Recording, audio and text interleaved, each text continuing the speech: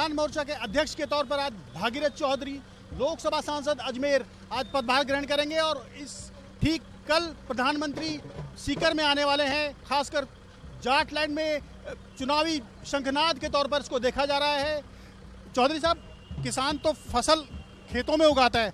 आप बीजेपी के लिए वोट उगाने की तैयारी में देखिए, हिंदुस्तान में सबसे कोई दुखी वर्ग है तो किसान वर्ग है।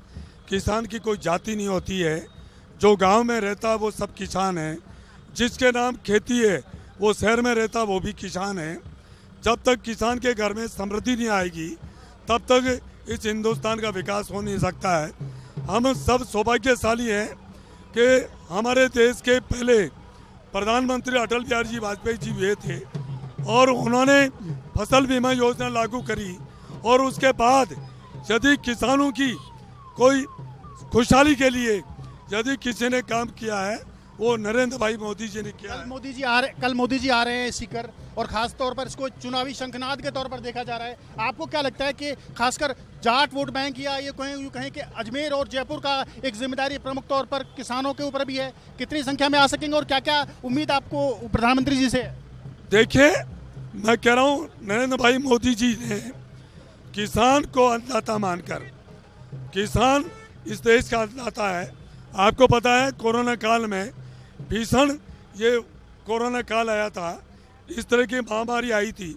उसको बचाने का काम किया तो हिंदुस्तान के अन्नदाता किसान ने किया। और मोदी जी ने 80 करोड़ से भी ज़्यादा जनता को मुफ़्त अनाज देने का काम किया। तो नरेंद्र भाई मोदी जी के नेतृत्व में अन्नदाता के बलबूते पे किया। कल आ रहे हैं जब प्रधानमंत्री जी कल क्या तैयारी है आप लोगों की? आपको पता है नरेंद्र भाई मोदी जी ने किसान सम्मान निधि के रूप में आज 11 करोड़ से भी ज़्यादा किसानों को जो किसान सम्मान निधि के रूप में दिया जा रहा है, ये एक बहुत बड़ी खुशहाली की बात है।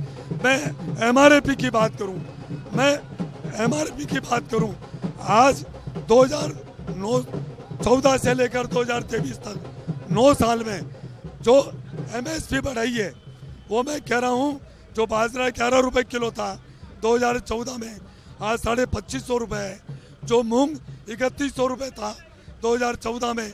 आज आज आठ हज़ार पाँच सौ साठ रुपये है। मैं ये कह सकता हूँ कि किसान को अन्नदाता मानकर नरेंद्र भाई मोदी जी ने जो नौ साल में काम किया, वो बेमिसाल है। आप दो बार, आप दो बार प्रदेश में विधायक रहे हैं, आपने जनता की सेवा की, आपके लोगों की उम्मीदें हैं कि आप विधानसभा में भी अपनी अपनी उपस्थिति अगली बार दर्ज करें तो क्या आप इस इस इस मूड से भी हैं? देखिए, भारतीय जनता पार्टी ने मुझे दो दफे विधायक, तीन दफे भारतीय जनता पार्टी का टिकट दिया। मैं दो दफे विधायक बना हूँ। मुझे सांसद बनाया है। भारतीय जनता पार्टी के हम कार्यकर्ता हैं, जो शीर्ष नेतृत्व और जो प्रदेश का नेतृत्व तो जो भी काम कहेगा, एक छोटे से कार्यकर्ता के रूप में, वो हम काम करेंगे। हम पद के भूखे नहीं हैं। हम भारतीय जनता पार्टी, ये पार्टी है, जो पहले भारत माता को परम वैभव पर पहुँचाना चाहती है। भारतीय जनता पार्टी है जो देश को खुशहाल राष्ट्र बनाना चाहती है। प्रदेश के जो किसानों पर जो या, या राजस्थान सरकार ने जो किया है आपका उसकी क्या प्रतिक्रिया है? क्या आपको लगता है कि यहाँ भी किसानों के प्रति लोगों में क्या उत्साह है या किस तरह की उम्मीदें हैं बीजेपी को लेकर? देखिए पहले तो मैं यहाँ वर्तमान कांग्रेस सरकार की बात करूँ। 2018 में राहुल गांधी जी आए थे और उन्होंने कहा था कि यदि हमारी सरकार आएगी उन्होंने दस तक गिनती बोली थी कि दस दिन पूरे होते ही इस राजस्थान के अन्नदाता किसान भाइयों का संपूर्ण कर्जा माफ़ कर देंगे। फिर उन्होंने कहा, नौजवानों को साढ़े तीन हज़ार रुपये महीने बेरोजगारी भत्ता देंगे। फिर उन्होंने कहा, यदि हमारी सरकार आ गई, एक नए पैसा बिजली का दाम नहीं बढ़ाएँगे।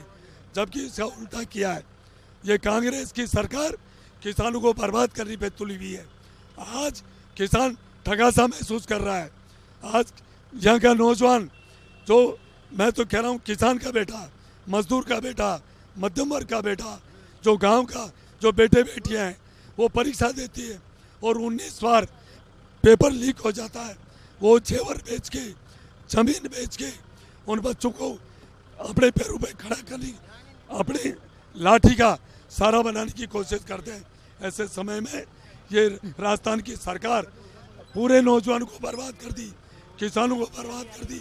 अब राजस्थान का किसान, भारतीय जनता पार्टी की सरकार को पूर्ण बहुमत से, भारी बहुमत से बनाने के लिए आतुर है। तो साफ़ तौर पर, केंद्र सरकार की उपलब्धियाँ खासकर किसानों को लेकर और राजस्थान सरकार की विफलताओं को गिनाने की तैयारी में है किसान मोर्चा, भागीरथ चौधरी के नेतृत्व में। अब देखने की बात होगी कि इनके अनुभव और पार्टी किस तरह से सत्ता में वापसी की रणनीति तैयार करती है। कैमरामैन कमलेश भाटी के साथ देवेंद्र सिंह, भारत एक्सप्रेस, जयपुर।